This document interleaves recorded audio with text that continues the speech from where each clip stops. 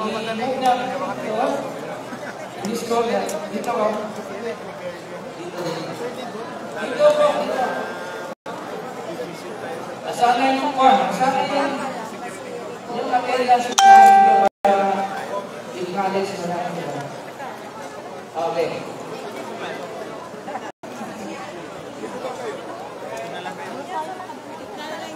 Ang upo dito sa harap, lima. Si Brother Mahdi, si Pagyo, si Brother Toby Nagula, si uh, Selvin Gensimugoy, at saka si Brother Amir Dudo. So, tinatawagan namin ang pansin ng ating mga kasama sa media, si Nor Gaya, si Dato X Abang, si Nea Abdul Tahir, si Ted Udales, si Lodi Di Gracia, si Bet Bansao, Nor Oyag, Ma'am Carly, Abbas, uh, Justin Michael, uh, uh, si, si Alas, ang uh, yung ano, yung Panarigan, yung ating uh, musaka sa Maguindanao. Uh, siyempre si Ferdinand Cabrera at saka si Deb Dalo. So, sige po.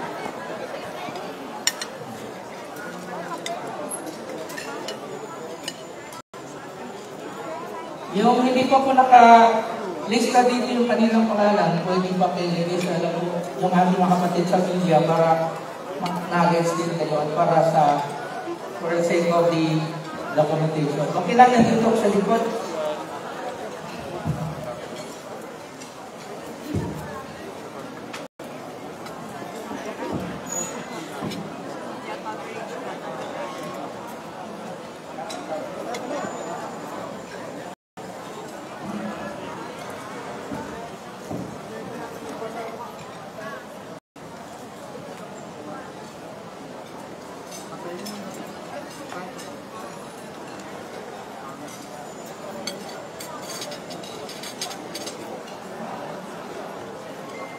أعوذ بالله من الشيطان الرجيم بسم الله الرحمن الرحيم Assalamualaikum once again. Magandang hapon, hapon naman, ang tanghali ng umaga pa lang, no? Magandang umaga po sa ating lahat. Uh, Lalo-lalo na sa ating mga kapatid sa media na nandito ngayon. Ito, mga sukay nito, ano? Uh, maraming maraming salamat po sa inyong uh, pagdalo. Bago tayo magsisimula sa ating uh, questions and answer portion, uh, gusto ko natin uh, ipakilala sa inyo, no? Yung ating uh, nasa uh, harap, sila po yung sasagot sa inyong mga katanungan at uh, sila po rin po yung papaliwanag regarding sa activity na ito. Mula po sa aking left, ang representative po ng uh, Mindanao People Caucus, si Brother Sarah Benjamin Sumugoy, ang uh, IPED Sox Sergeant. Makuha likod mo dito. Uh, nandito sa ka kasi sa harap. Academia, si Brad Abdullah, ang uh, representative ng United Youth for Peace and Development. And of course, representing the League of Bangsamoro Organization, nandito si Brother Mahdi Amelia, ang tumatayong spokesman ng uh, Peace Conference na ito.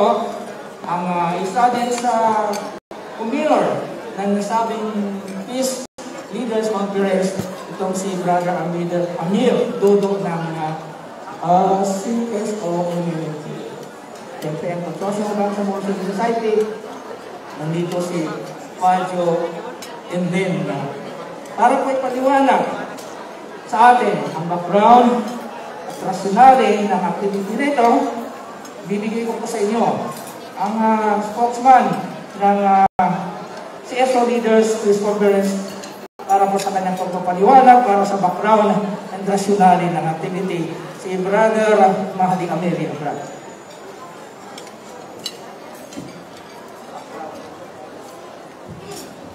Bismillahirrahmanirrahim.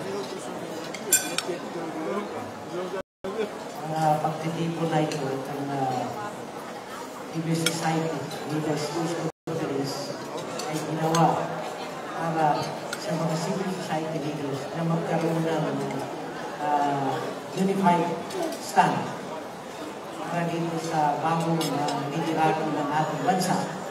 Ang pagbabago ng uh, liderato kung saan uh, nagkataon na nasa second base na rin yung uh, BTE. Pangalawang uh, sa extension na rin yung BTE at uh, expected eh, magkakaroon ng uh, uh, panibagong membro ng Bangsamoro Transition Authority. Ay expect natin na ang uh, mag-appoint ay ang bagong leadership ng uh, Pilipinas, ang uh, uh, President-elect uh, uh, Ferdinand Marcos Jr. Dahil dito, ayoy nanawagan sa ating mga kasamahan sa civil society na magkaroon ng conference para pag-usapan kung ano ang ating position o ano ang ating nakikitang maganda para may patuloy yung uh, masustain yung gains of the peace process dito sa Bangsamoro Homeland. At ngayon, uh, nandito tayo ngayon at uh, uh, tignan natin kung anong maging uh, result nito pero ang ating nakikita ay magkaroon ng uh, unified uh, statement itong ng mga nandito ngayon na hingin sa ating presidente, bagong elect president, si Ferdinand Marcos Jr.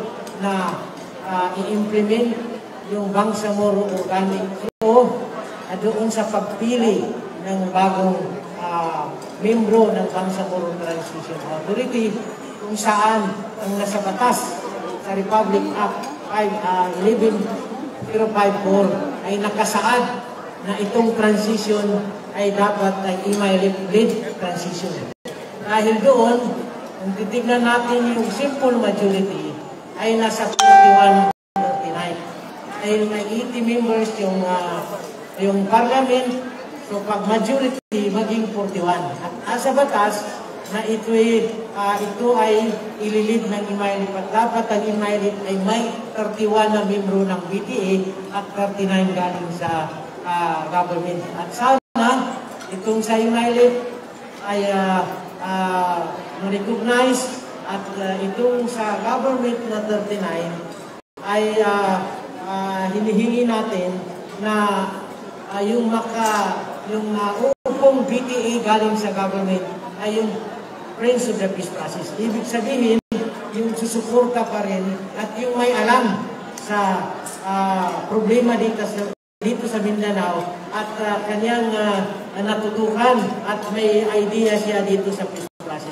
So ganito at ito yung gusto nating mangyari sa araw na ito. Pangalawa, yung uh, yung uh, yung uh, bilateral uh, implementation of the peace. Alam natin ngayon na lumalabas itong balita na ang international monitoring team ay uh, bubuwagin na at yun yung kagustuhan ng isang palig. So ang gusto natin, kung ano man yung desisyon sa peace process, ano man yung babaguhin, ano man yung gagawin at implement itong peace process, dapat ito ay gagawin bilaterally. Ibig sabihin, both the government and the will decide on it. So ito yung uh, uh, pangalawang nakita natin. And pangatlo, yung uh, uh, magkaroon ng uh, magandang relasyon yung uh, regional government, yung mga local government units na napaloob dito sa Bangsamoro Autonomous Region in Muslim Mindanao para masustain yung gains of the peace process. Yun po yung uh, dahilan kung bakit tayo nandito. Thank you very much. Salamat, Brad Mahdi, for giving us the uh, rationale and background of this uh, this uh, conference. And now, ito kasi nga activity ay binubuo ng iba't ibang convenos. There are five, ano? We'd like to hear also some uh, statement from the other member of the uh, network of this convenor. From the CBCS, kasi, uh, pwede ba namin, pwede natin pakinggan ang inyong uh, uh, statement, konting statement, short statement po. Parjo? Assalamualaikum. Uh, galing po sa Consortium of Bangsamoro Civil Society Incorporated. Uh, we are uh, here. Nandito po kami para sumuport dito sa ating CSO leaders sa uh, Peace Conference. No? Ang, ang pinaka-purpose po natin dito is i-strengthen yung convergence at cooperation between and among the civil society organizations and groups in the barn and also including outside the barn. As far as from Manila, nakita naman natin na nandito yung mga kasama natin from civil society. Kami sa Consortium of Bangsamoro Civil Society, at tayong lahat ay naniniwala na there should be people's participation doon sa peace process at parinig yung boses ng uh, mga tao. Uh, kung ang uh, usapin ay uh, hinggil sa usapin pang kapayapaan. At uh, uh, maisasagawa ito ng maigi at maayos sa pamamagitan ng participation sa civil societies, which is tayo ito. So, uh, naniniwala din kami na tatlo yung pillar ng society, yung government, yung uh, ating uh, private sector, at uh, yung civil society. Tayo po yung stakeholders nitong uh, usaping kapayapaan, uh, pangkapayapaan. Uh, for decades, no, for decades, uh, yung buhay ng mga dito sa Mindanao ay hindi siya normal. At uh, we are hoping na kung ano man yung gains ng peace process ay masustain ito at tulong-tulong po tayo. Kaya full support tayo dito sa activity na ito. At the same time, tayo po ay nananawagan sa duty bearers natin from the Imailab side and from the government, no? yung mga stakeholders ng peace process na magtulungan tayo kasi hindi lang ang struggle na ito at ito po sa people kapayapaan para sa atin, para din po ito sa next generation ng kabataan ng Bangsamoro. So yun lang po. Thank you very much from the Civil Society Organization, Consortium of Bangsamoro Civil Society Organization. Now, this time from the uh, CSO Movement for Moral Governance, Brother uh, Dod, Brother Amir Dodo, for your short statement. Uh, uh, shukran, uh, Brother Balvin dito.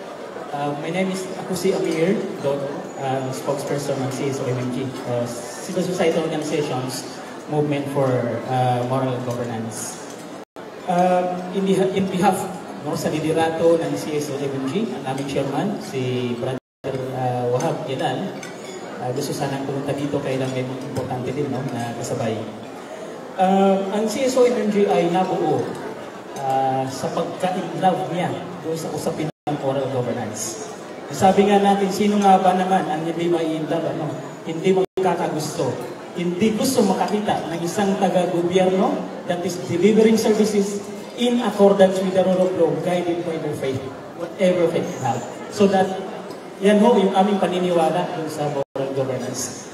Subalit, ang usapin ng moral governance ay palaging naka-anchor, naka-anchor dito sa transition period ng Bangsamoro o ng BART. Ang PTKO ay isa lamang yan doon sa, sa, sa dalawang track o tatlo track ng peace process. Ang CSO-MMG ay nanghihikayat, nananawagan at nagsusuporta doon sa full implementation, full adherence ng dalawang party doon sa pinirmahan nilang agreement. Ang napapalubog doon basically ay may dalawang track na klaro sa atin.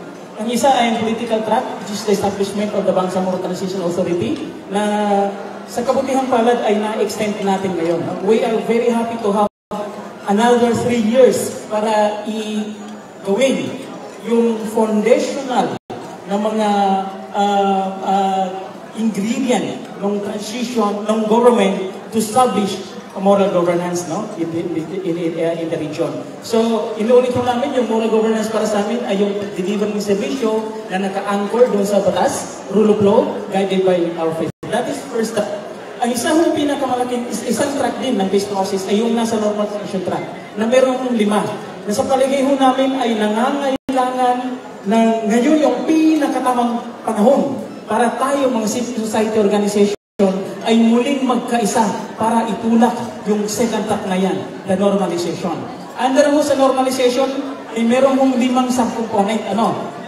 Nandun sa security. Lahat po natin ngayon, lahat po tayo ngayon, ay may haka-haka at may, pagda, may, may, may pangamba, sabi nga ni, ng Secretary General ng UNIPAD kanina, may konting pangamba sa kanilang mga puso, sa kanilang mga isipan. Pagdating doon sa security, doon sa isang component ng normalization, which is the security aspect ng component.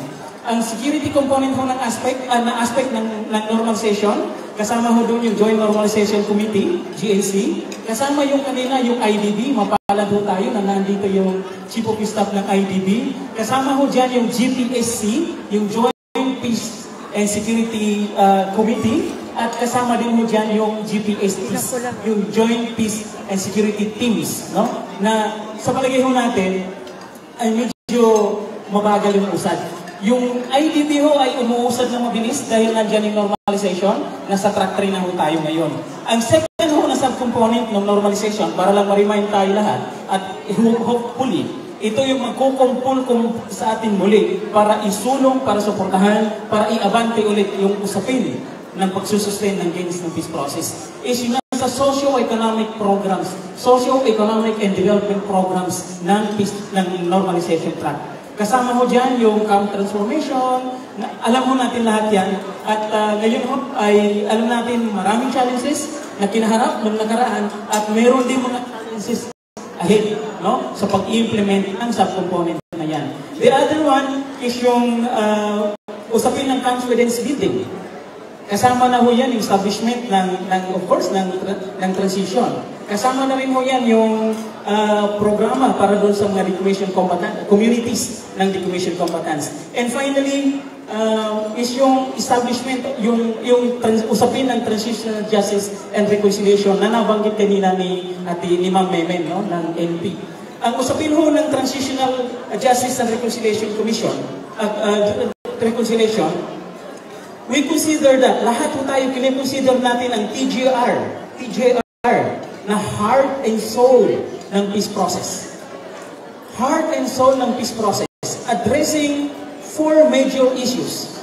Legitimate grievances of the Bangsamoro people, marginalization through land dispossession, historical injustices committed against the people in the Bangsamoro, at saka yung human rights violation committed against us, against the Bangsamoro people. Those are four major issues na dapat ay tinuturugunan ng transitional justice and reconciliation. And we know the fact that meron tayong kakaharapin sa usapin ng TJ. Especially yung mga agam-agam natin ngayon, no? Doon sa mga nakaraan. And not last but not least, yung usapin ng monitoring.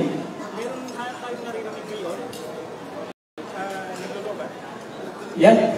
Is uh, yung pagbubuwag ng IMT at saka ng TPMT, which is para sa atin ay hindi siya katanggap-tanggap, no?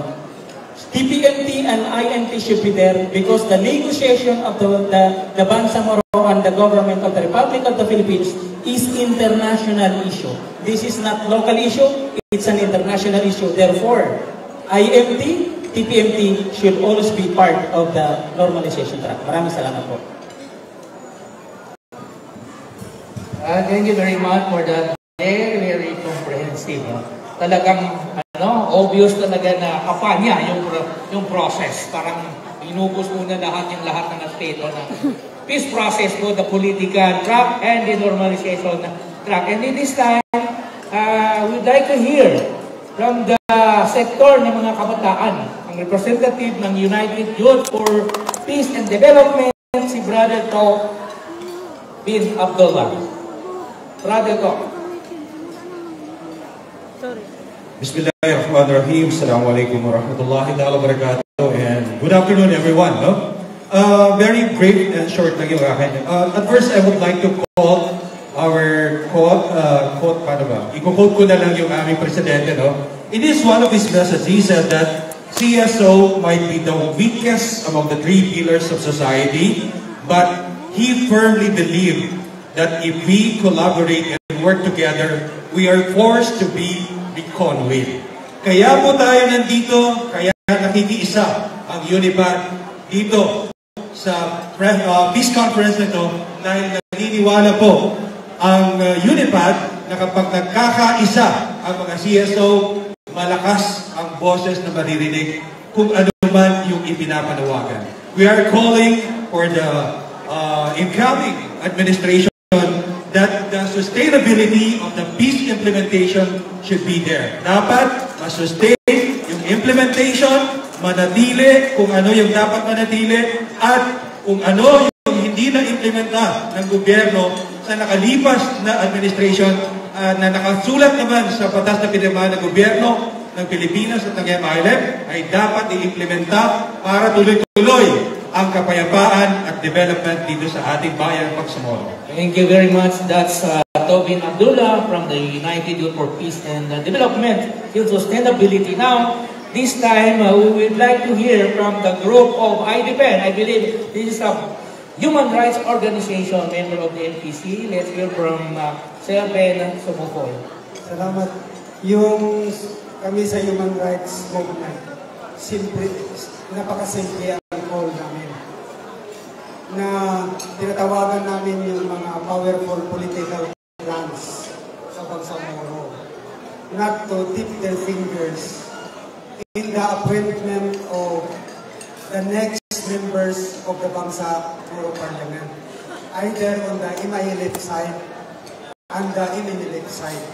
Hayaan muna natin yung Philippine government at saka yung MILF na i-manage ang BARM during this period of reconstruction based on the, the principal tenets of the BOL and the comprehensive agreement on the Bangsamoro. Yun lang muna. Bahala na sila mag-intervene in 2025.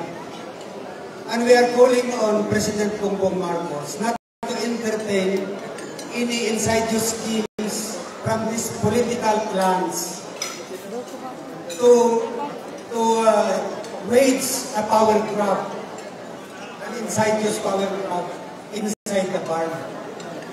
Kasi napaka-costly pag gawin natin yun.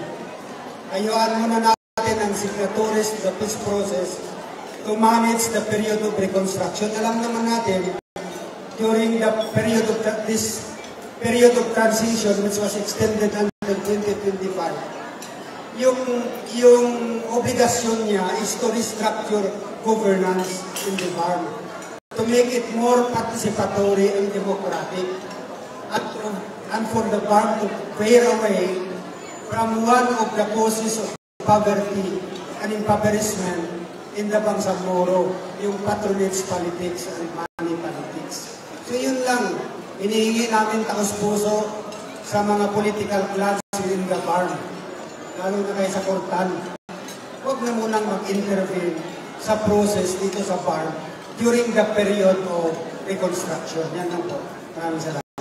Thank you. I believe na we have given you uh, enough information coming from the very rich uh, resourceful resource persons that we have. Uh, we have now come to the uh, highlights of this uh, press con. Interesting uh, portion that is uh, question and answer portion. Bago tayo mag-entertain ng mga katanungan from the media friends, meron lang tayong konting ano lang naman, maliit lang na household. Una, uh, please introduce yourself.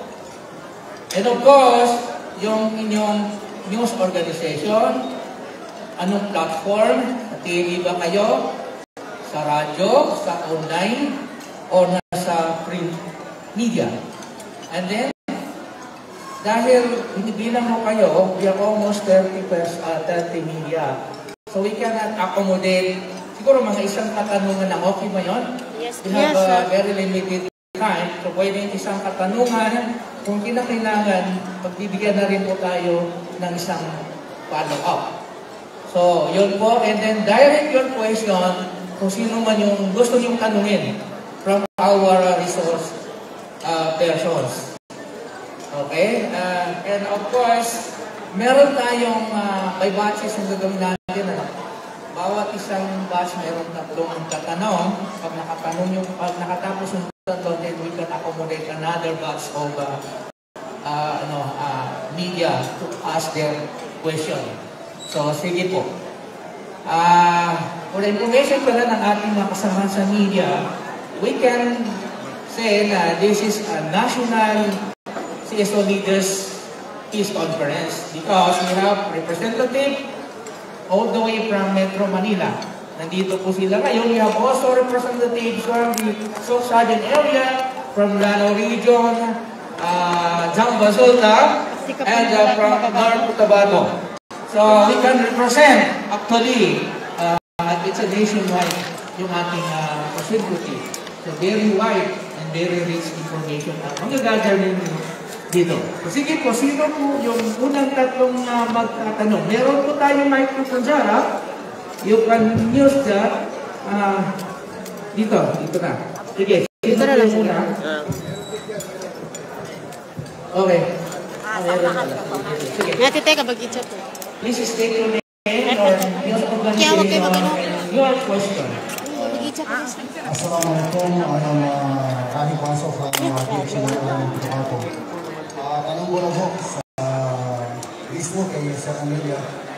Ah, ano po yung dapat gawin na CSO kung sakaling matuloy po yung uh, unilateral na pagtanggal sa mga naging katuwang po sa peace process ito po na international monitoring team. Ayusin ko lang mamaya. Po din uh, kalampagin hanggang sa uh, mga kanihok. uh, information ng uh, uh, sa international monitoring na isang uh, uh, violation ito sa peace process. Unang-una, kung na-violate niya, yung sinasabi bilateral uh, implementation of the peace process. Walang makapag-decide ng isa, dapat it will be decided by the two parties. So, pag ganun ang nangyari, lang naman ninyo ang civil society organization. Pinitignan natin kung saan yung uh, uh, usos ng masa. Pag ang tingin ng masa hindi makakabuti sa ating mga community, kasama kami ng masa na mag-mobilize at uh, uh, aming uh, itukundim yung ganong uh, pamamaraan at ganong uh, uh, move ng isang uh, party uh, para nga mapanatili yung uh, kaayusan at uh, pag-implement sa uh, peace process. Thank you very much. Uh, okay, from Hot FM and then from Voice FM. Tatlo muna, ah, okay. From Hot FM, si Sis Maya.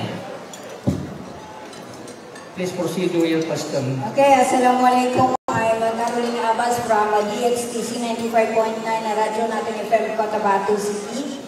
My question is, sa inyo po bang palagay o pananaw, mapapaliwala po ba ang mga napagkasundo ang kapayapaan na sinuportahan ng Administration Duterte dito po sa darating na Administration Marcos? One ka answer po. Yun ang sasagot. uh, binigay sa akin microphone ka ka Uh, magandang tanong ano? Ang aming paniniwala, yes or no lang yun, eh, hindi. Hindi ho mababaliwala. Dahil it's an agreement between party and signed agreement. Pinirmahan po to witness ng international community uh, sa pagpirma ng FAB, Framework Agreement on Demand Samoro, at saka yung CAP, yung Comprehensive, Agreement on Demand Samoro, na na-create na nga ayon uh, uh, we think na hindi siya mawala, hindi siya mababaliwala, at dapat hindi siya mabaliwala. Okay, from uh, Edge Habang of uh, Voice FM. And so, from uh, Voices of Cotabato. Para, para naman po sa uh, susunod na presidente ng Pilipinas, ano ba yung dapat nilang uh, uh, kaklaruhin sa government policy towards Consuelo? Maraming salamat po. Would like to Yung tatlo ko respond? Yung tatlo. Can you please repeat the question? Ano yung...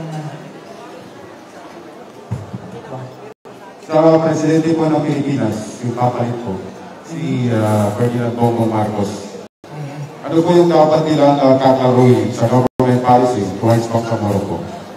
Yung sa akin lang, sa bagong administration, yung mapag-aralan at saka ma-understand yung asymmetric principle uh, involved in the peace process.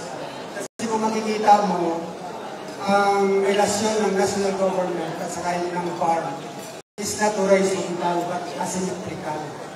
Kaya nga sa bawat uh, consensus points, yung mga mga mga government a- areas different areas of governance, mayroon palaging mga committees whereby uh, the, the representative of the national government and the representative of the Bangsamoro must have to sit down in order to forge a consensus, uh, a consensus that will uh, define the characteristics of the farm governance.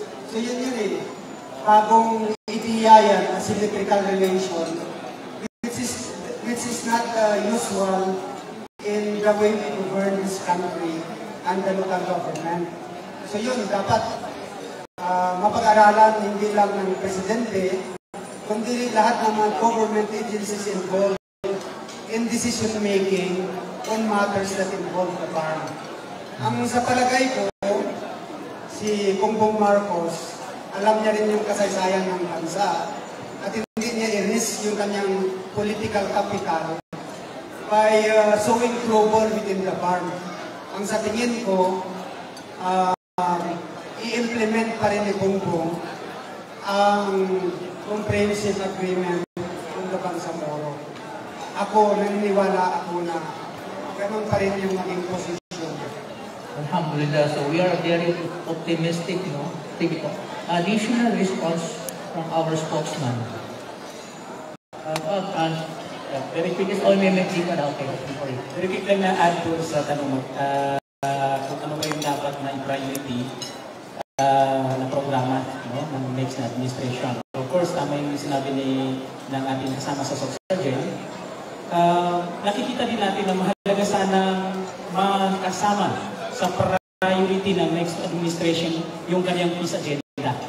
Kung, maka, kung ating matatandaan, nung panahon ni President uh, Rodrigo Roa Duterte, first month pa lang po niya, no? Or, uh, right after ng kanyang pagkapanalo, ay meron na siyang nailatag na six path to peace, priority agenda on peace. So we would like to see also, in the next, uh, we would like the next administration also to show us, no, ilatag sa atin kung ano ba yung kanyang agenda patungkol sa kapayapaan sa, not only in Mindanao, but the whole of our uh, the country. No? So, uh, of course, yung transition, and especially, yung peace agenda ho ng next administration.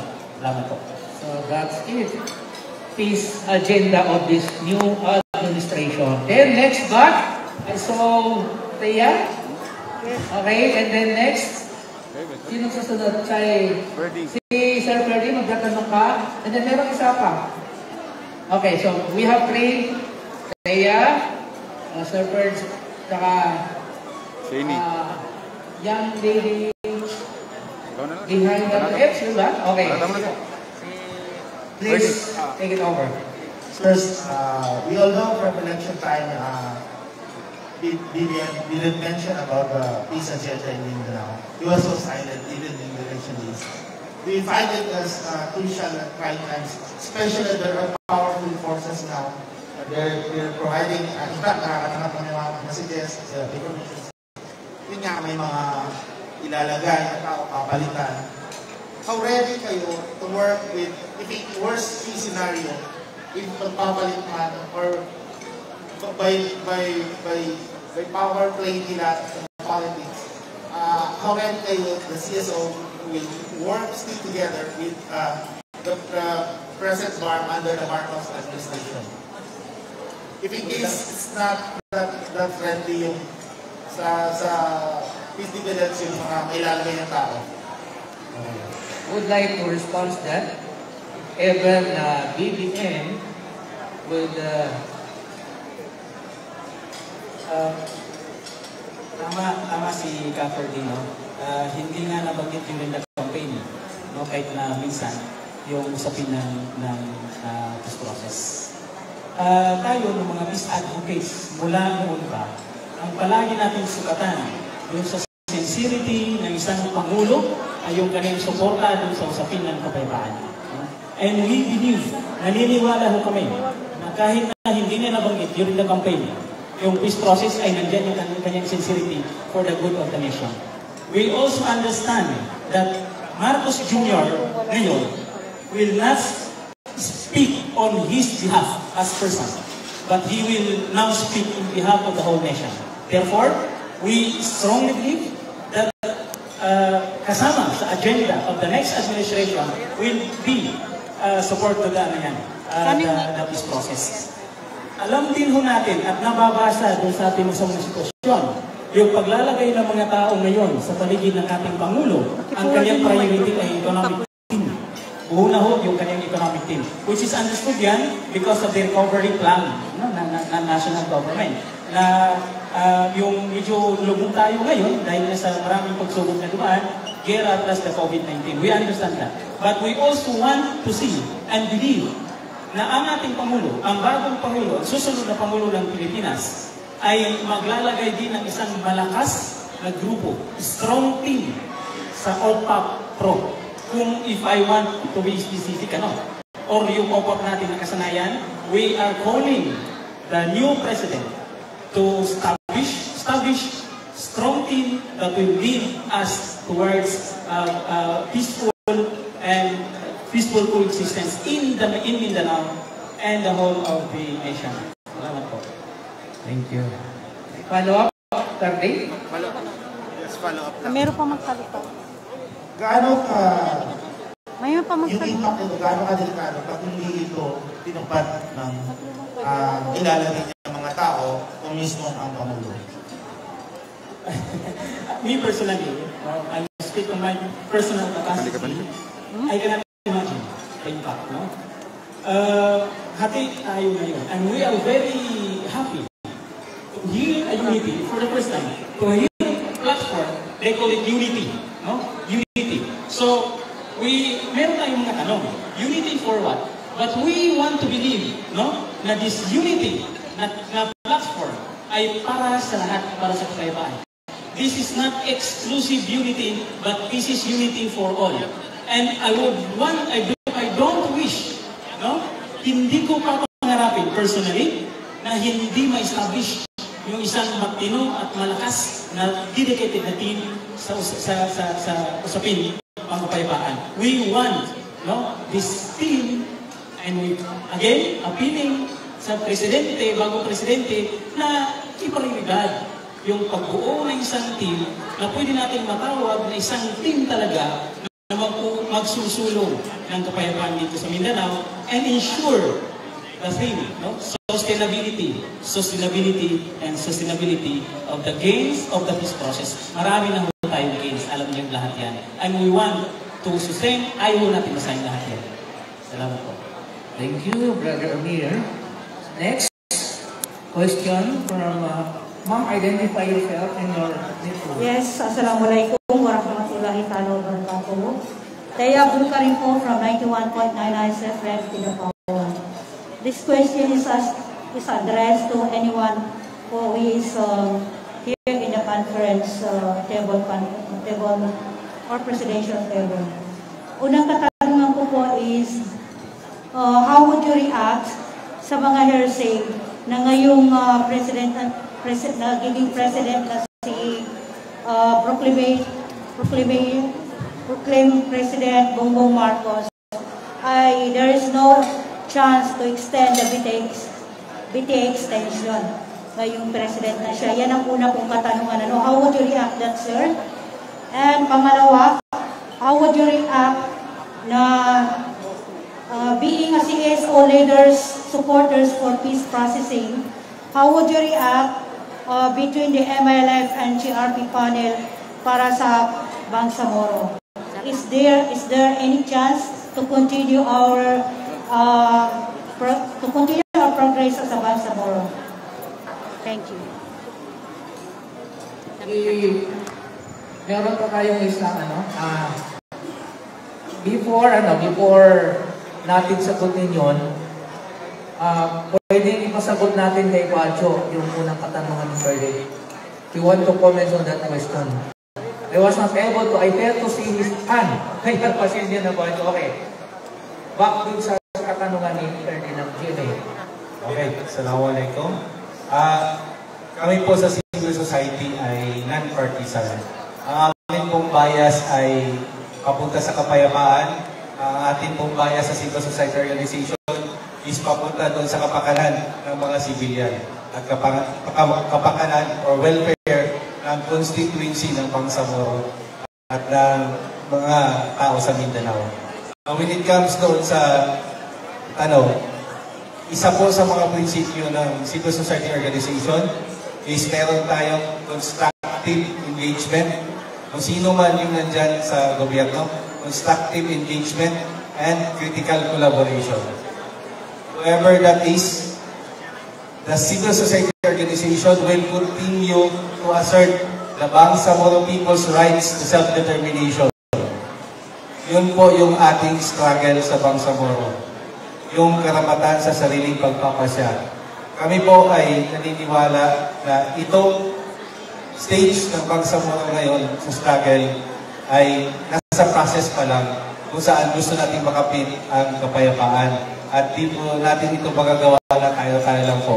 Dapat po tulong-tulong ang lahat ng CSO. Kasama na rin po na tutulong dapat ay yung mamamayan ng Bangsamoro. At kung sinasabi natin mamamayan, kasama po dito yung mga nandyan sa traditional political families, nandyan sa bureaucracy ng government, yung nandyan sa nakaupo sa farm, at yung common na tao na nasa community, si Babo, si Papa. Kasi hindi po nakukuha ang kapayapaan kung hindi nagtutulungan. At sama-sama po sana tayo doon sa assertion natin ng ating karapatan, ang kausap po ng IMAELEC ay hindi lang si Presidente Duterte o si Presidente Aquino. Ang kausap po ng IMAELEC ay ang gobyerno ng Pilipinas. Na sa ngayon po ay pamumunuan ng incoming President na si BBM. So, nananawagan po ang civil society, tayo, na respetuhin ang incoming government ni President Marcos kung ano ang napag-usapan, ano ang napagkasunduan at ano ang napirmahan. Sinasabi natin na respetuhin yung comprehensive agreement of the Bangsamoro na sinaksihan ng, ng international community. No? Yung laman niya dapat uh, dapat siyang respetuhin at sundin at ipatupad. Hindi po natin gusto na maulit yung nangyari sa MNLF na struggle na hindi natapos yung negotiation dapat din po irespeto yung nilalaman ng Bangsamoro Organic Law. So yun po yung patuloy natin na panawagan. Regardless kung sino man ang nandyan sa pamumuno ng government ng Philippines, ang assertion po ng Bangsamoro ay hindi matatapos sa isang gobyerno lamang. Ito po ay struggle ng isang buong generation up to the next generation. We are, Bangsamoro Civil Society, we are all peace advocates. At ang ating pong pamamaraan ng ng uh, pag-struggle ay yung collaboration in a positive manner at yung constructive na pakikipag-usap. So yun po yung ano, yung ating uh, gustong mangyari no, in the coming days. At hinihiling po natin na maging klaro din sa ano yung, ano yung policy ng next government towards us na Bangsamoro. So going back on sa next na question here, I hope na nakahabol yung sagot ko dun sa first question ni Sir Ferdy. Pwede po pakiulit yung second question. Can you rephrase your question in a more concretized Okay. Assalamualaikum warahmatullahi wabarakatuh. Abdul from 91.9 FM. Yung nga po yung katanungan ko, since uh, proclaim na ngayon ang ating uh, President BBM, uh, what would you advise, or what would you view, how would you view about sa peace processing, ano? uh, particularly MILF and GRK panel. Uh, ano po ba ito? Uh, what, how would you view this?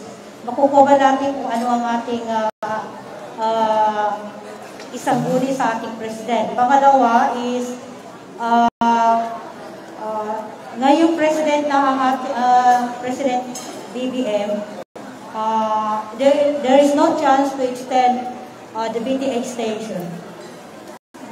Uh, yun ang haka-haka na naririnig po natin. How would you view this haka-haka or hearsay? Sa first question, how would you deal with the... Sir? Uh, one question lang po, ang usapan ko na one question lang po, ang entity. Para hindi po Sama tayo. Sige po, sige po. Klaro. Uh, how do we deal with the incoming administration of President BBM? Ito pong ginagawa natin is one way of dealing with uh, the next uh, administration. Meron pong uh, statement yung civil society organizations calling for the parties of the environment and the government of the Philippines uh, na ipatupad kung ano tayo napag-usapan. Uh, I do believe uh, may printed copy tayo na i-release sa kanila. So, yun.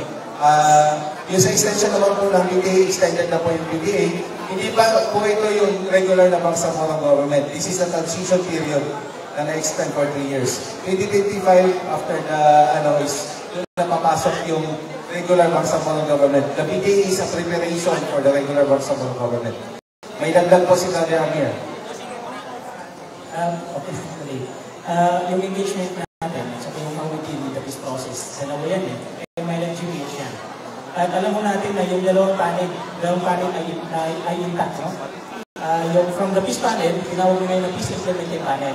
Hindi pa po sila nabubuwag ng ganyan. And definitely, CSO, civil society organization will work, will work with the both, with these both uh, panels government sa kanang GB ng, ng MILA para sa kanilang commitment to, to, to, pursue continue the peace. No? And second, uh, tama, ng extension bill, the question lang is yung mga tao, and we are now calling to sustain also people with the bar now, no? para dun sa extension uh, ng transition period. Salamat po.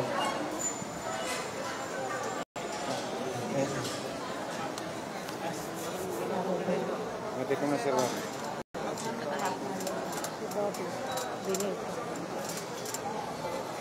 Okay, sorry, may tumawag na media. Okay, um, mamaya sa second batch ka, Brad Lahir ng PDI, uh, sino yung last sa three batch? Ako sa... Okay, di ba nakatanong ka na? Wala, hindi pa, hindi pa. Uh, sino na unang nakunto? Si Brad Lahir, tapos dito, si Diko. Assalamualaikum warahmatullahi wabarakatuh. Introduce yourself, ma'am, and then your media organization. Assalamualaikum warahmatullahi wabarakatuh. By Nira uh, from EFK DNI News Online. Ang itatanong ko lang po, sir, anyone can answer. Um, sa panahon po ng eleksyon, ay alam po natin ng Bangsamoro government ay sumuporta at nagproklama kay VP Lenny Robredo. So hindi po ba nakaka-apekto ang pag-apela o panawagan natin kay elect BBM na ma-sustain ang peace process? Okay, next. Sino ang sasagot? Okay. Yung pagiging re-election, ang election sa bansa ay isang uh, kanal, uh, isang uh, uh, karapatan ng bawat isa sa atin. May karapatan tayong pumili. Yan yung nasa Constitution ng tayo sa Prince. At kung sino man ang bubutuhin mo, walang personalan. Kung sino man ang mananalo, kung siya ang binuto ng buong uh, sambayanan, wala tayong kundi lang yun ang suportahan natin kasi yun ang nanalo. Nasa loob tayo ng isang demokratikong bansa at dapat i-recognize natin kung sinong nanalo at sinong pinakamaraming boto.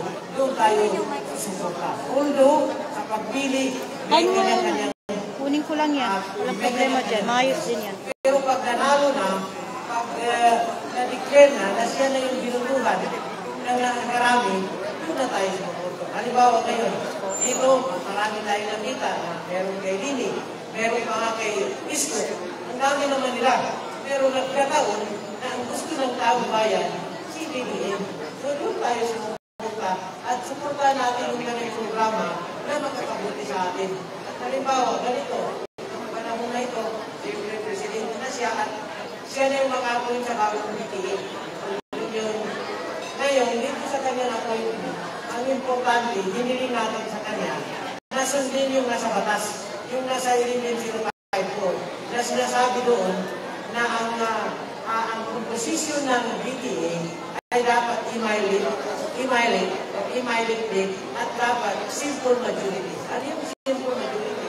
50 plus 1. Yan na yung 41. There were 80 members of the parliament at saka ang 50 plus 1 ay 41. Dapat yun ang try Yung 39 sa government at ito yung kanyang i-appoint. So nirespeto natin kung sino kanyang pipiliin yung sa 39 but yung sa MILF ay dalalin 41 kasi sila yung governor of. At sila yung kausap ng gobyerno kaya binigyan sila ng ganong ganong uh, sila yung uh, majority. So sa tingin ko walang problema at uh, sa tingin namin patuloy na pagagampanan ni President Bongbong Marcos Jr. itong kapayapaan at itutuloy niya yung peace process ng gobyerno at ang Moro Islamic Liberation Front. Dahil pag hindi niya tuloy, tinuloy, meron siyang batas na ma mababangga, meron siyang mababiolate na batas. Yung Republic uh, Act, Living Okay, meron ka nagdagang sagot?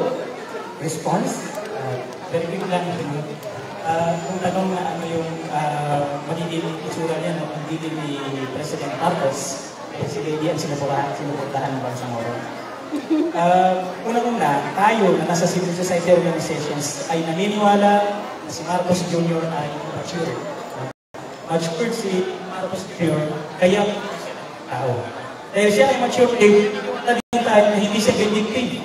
Hindi siya mapaghigal si BBM, si Marcos Jr.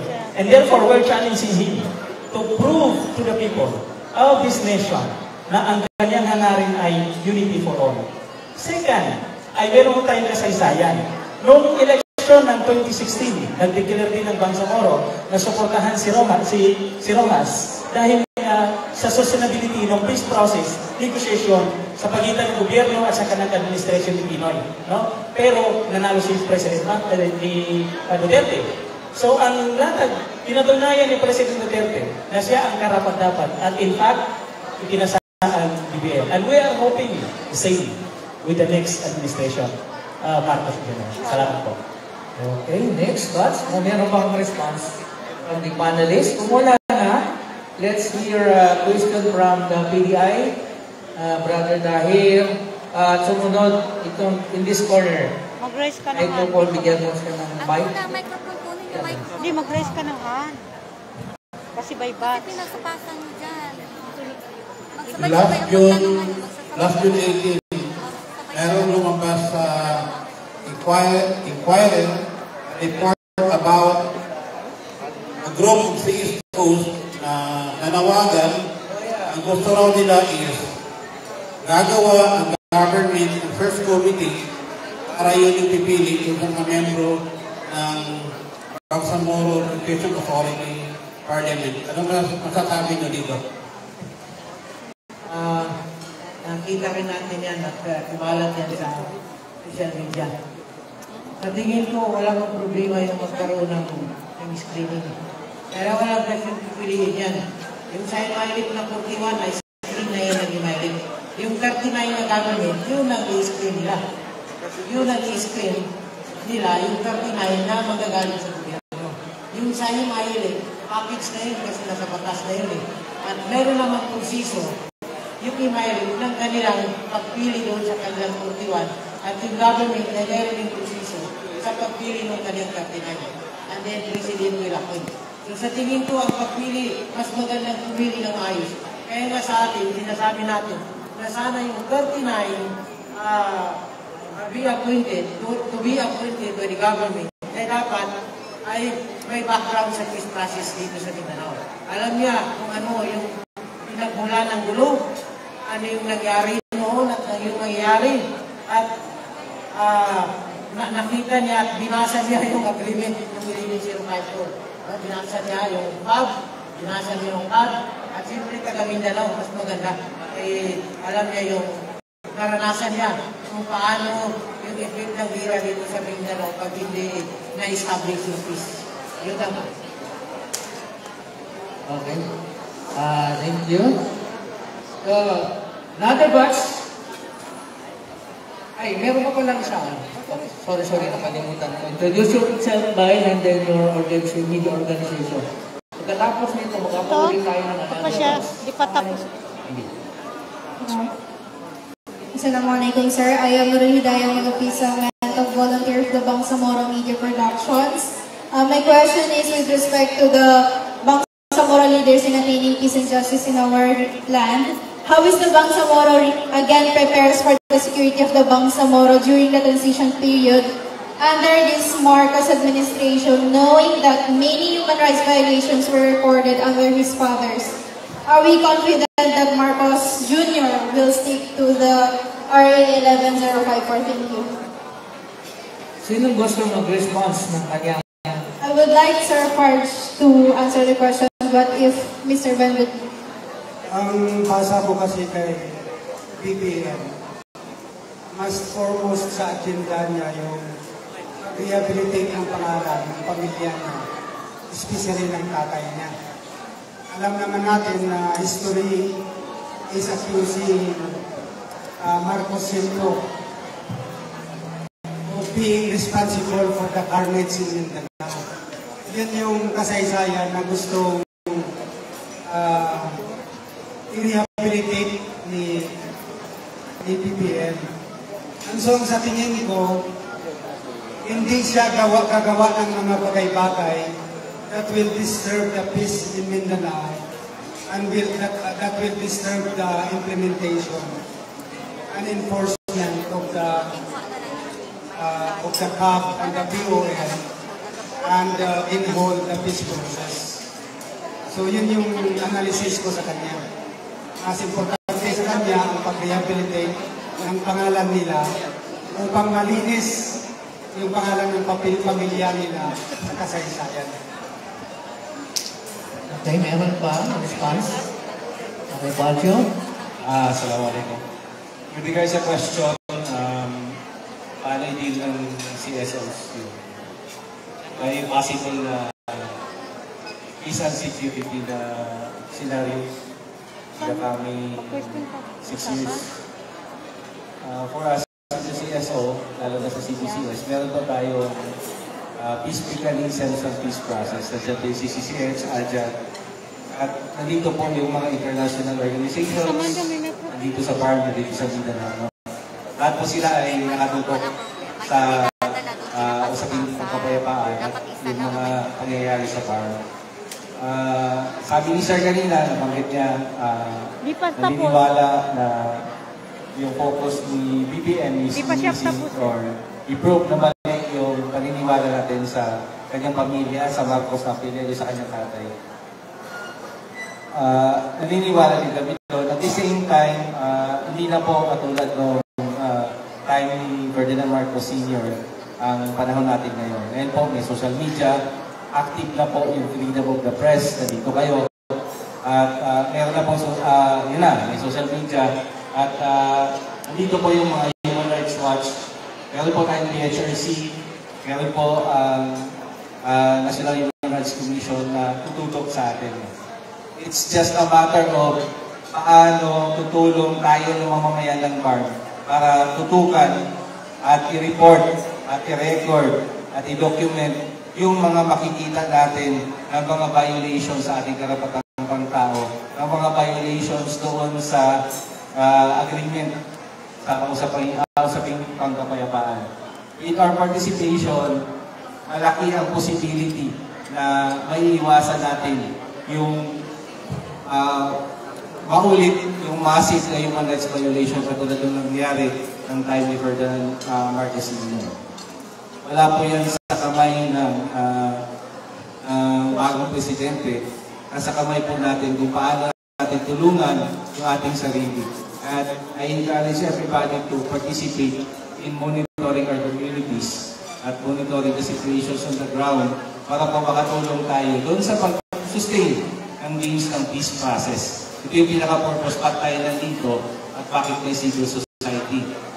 As for actions ng incoming administration, hindi po natin hawak yun. But tayo sa CSOs, we will keep on calling the attention of the incoming government and all stakeholders and duty bearers na respetuhin kung ano man ang napag-usapan between the government of the Philippines and the MILF and also in the MNLF para po hindi tayo babalik sa zero. Hindi tayo babalik doon sa situation na hindi natin gusto na nahihirapan yung mga tao. No? So, I hope that answers the question. Thank you. Okay. Isang batch na lang, magbibigay tayo ng another three and then hopefully you will understand kasi we are very limited time. I saw an over there, si Alas Panarigan and Ludi. Yes. Ludi. Uh, si Ma'am, uh, yung sa likod, nakatanong ka naman ma'am, no? Di ba? Di pa. Yo, yo, yan, yan. Dalawa sila, hindi. Sige, isa, alas, tapos ah, uh, young lady, uh, over there. Mauna si alas. Okay. Alas Panarigan. Assalamualaikum warahmatullahi wabarakatuh.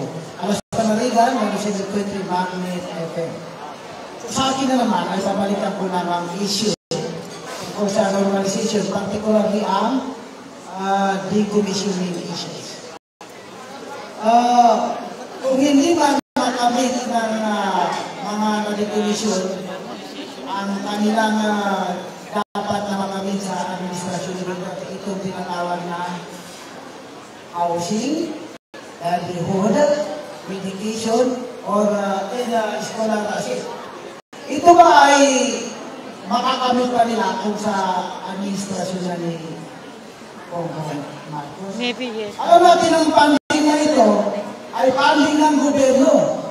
Hindi kaya pwede na dahil ang mga na-decommissioner na yan ay tao din ng bank, ay kung ang bank na kaya ang mag-budget ng budget na yun. Kung hindi na, ibibigay ng gobyerno ay patatagalin. Hindi kayo pwede.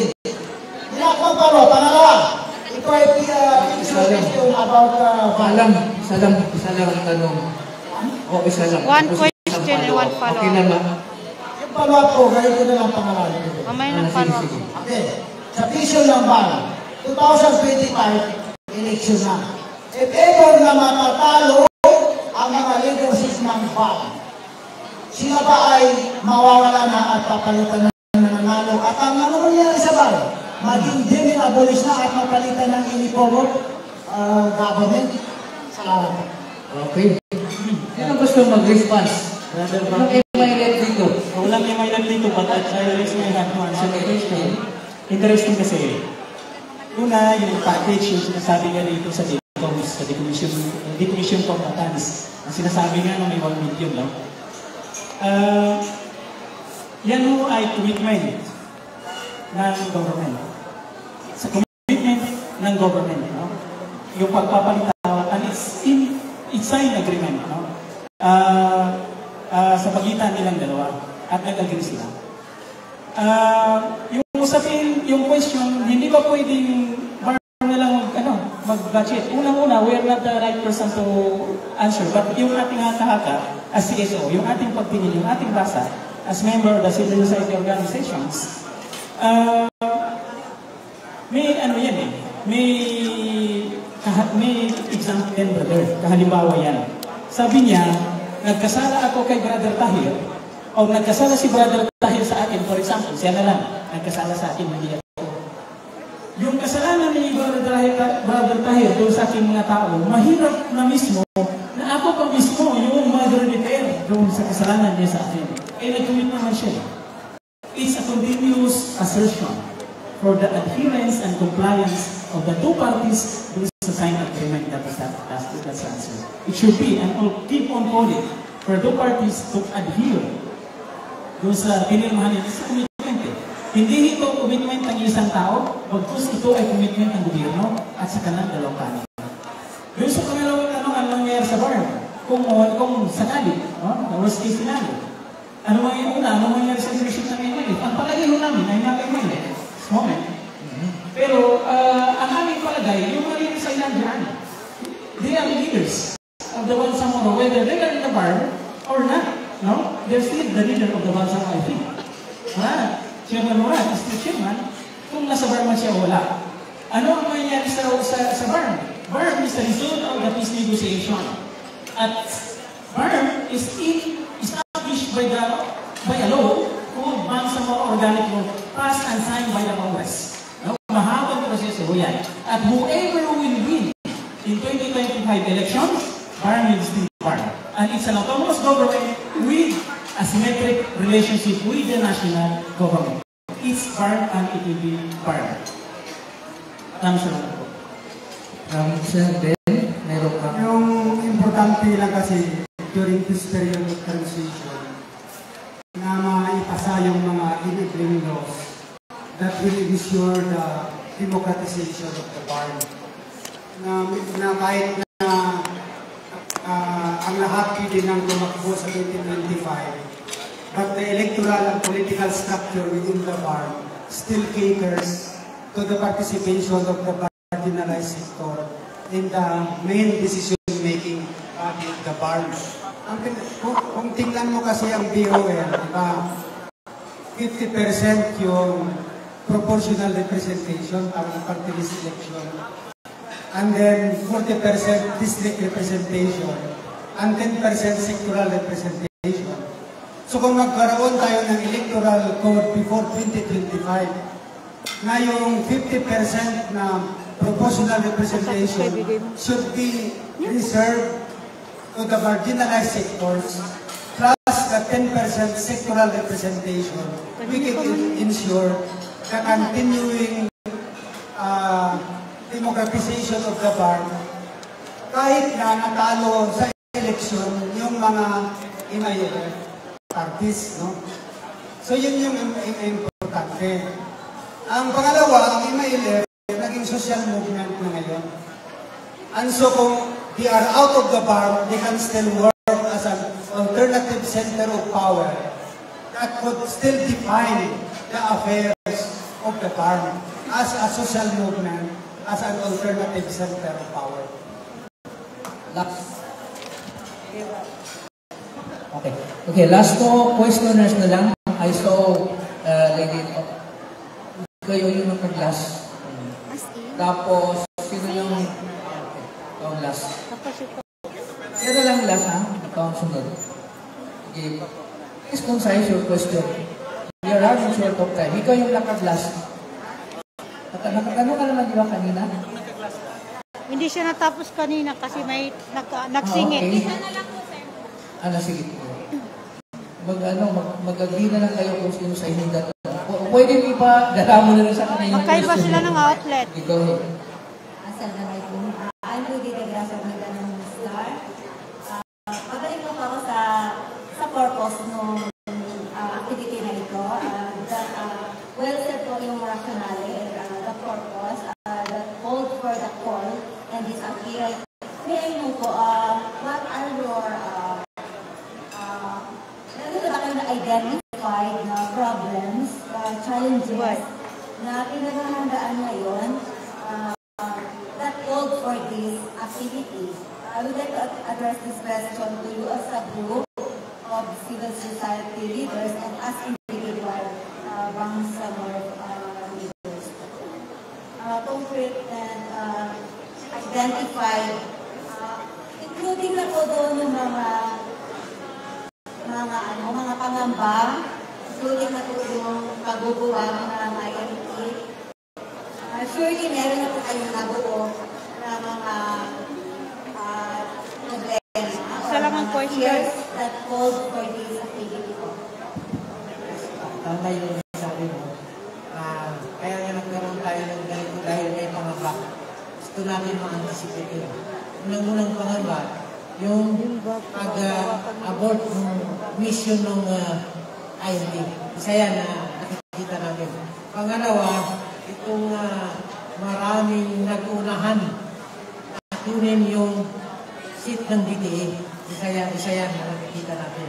Halimbawa, itong ah, sa 41, kahit sa, sa Imailit, ibinayan kasi nasa batas. Yung 39 ang problema, kasi marami pa mga politician na gusto yan. Pero sa atin naman, ah, pag-appointe na sa kamayan ng presidente. Kaya ang sa atin lamang ay panawagan sa kanya, pag-remind sa kanya na sundin lang yung batas ng composition ng BTA na nasa uh, Republic Act uh, 11054, yung hatian, yung 4139. Yun lang man ang sa atin dito. Ah, maliban dito, yung mga ah, nakikita natin na problema rin, itong problema rin sa Crown, halimbawa, itong tapos na yung ating itong vertical conflict, ngayon meron naman horizontal conflict. Ano yung sinasabi kong horizontal conflict? Yun yung mga mga mga rito sa ground, yung presence ng private armed groups na halimbawa yung nangyari sa Rajaboyan, yung pitong kalalakihan na basta-basta na lamang pinunot at uh, pinatay ng uh, grupo ng nasa anak ng narinig natin, si IDG. So yan yung mga human rights violation at nakaka-apekto dito sa kapakanan ng ating mga communities. Nakakaawa yung asawa ng ito at yung kanilang mga anak. Nakita natin, na naraid ito, wala na hindi ito nakakabot. Yan ay mga problema rin yan ng civilization. Kaya sa atin, ginawa natin ito para uh, ipa, ipaalam sa Presidente na dapat bigyan ito ng action. Ano si uh, basta, basta na lamang na pag-lupot uh, sa tao sa ground sa ating mga community, pinapatay, tapos ang mapatay kayo sa, sa government. Ibig sabihin, human rights violation talaga yan. Dapat matignan yan. And pangalawa, yung nga, itong, itong, yung, yung, itong, unilateral na pag-implement ng peace process na kung saan ito ay violation sa isang sa isang agreement ng dalawang pamilya. Uh, yun lang po, ma'am. Okay. So, thank you very much. So, since na wala na po tayong oras, merong hihirit. Pagbigyan na lang natin. Siling hirit. Si ma'am. Uh, sorry po, gusto mo naman kayo pagbigyan, pero very limited yung time natin. Actually, okay. Okay lang ba na siya magiging last? Anyway, you can stay uh, until uh, 3 o'clock or 4 o'clock uh, para madinig pa ninyo yung anong pang mga, mga information na merong gusto i-convey ang conference nito. Sige po. Please proceed with your question now. Sige po. Assalamualaikum warahmatullahi wabarakatuh. Lapit na microphone. Uh, I am Anissa El Razid from BNB News at the same time a member of uh, UNIPAD. Uh, so ito yung question ko. Kung halimbawa, may mga provision na hindi ipatupad ng bagong administration ni BBM sa mga napagkasunduan ng MIL at pamahalaan, ano ang magiging papel ng uh, independent party? Uh, yun ako. Papel ng independent party. Ah, ano magiging indi Okay. ah, papel ng independent party? Okay. Sige, sabi mo. Yung, tayo naman yung independent. Yun lang. Oh. Ang unang-una, pag uh, meron hindi implement na provision na nasabi yun, kasama tayo doon sa pagkundi ng gobyerno na dapat i, i uh, implement yung nasa batas. Sila yung gumawa ng batas, dapat i uh, implement yung batas. At uh, kasama tayo ng mga communities na makipag-usap both the government and the War Islamic Liberation Front para kanilang i-review yung mga yung mga mga uh, provisions sa batas na hindi gamit. Pangalawa, meron namang TPMD, yung third party monitoring team, na yan yung titingin doon sa agreement at sila yung magsasabi na ito hindi na implement. Ito dapat na implement. So, malaki yung tulong nila na ma-implement yung mga provision na uh, ayaw ng gobyerno at ma-remind ng gobyerno natin, yung gobyerno na implement yun dahil yun ang nasa agreement. Yun, yun lang po, panawagan lang po sa ating gobyerno. Okay, thank you. With that, that goes our press conference for this uh, afternoon. Actually, lumampas na tayo ng oras. We start natin sa Alnao quarter to Corporation of 12. Ngayon, sobra alaman na. So, thank you very much for your question. Salamat sa inyong uh, pagdalo.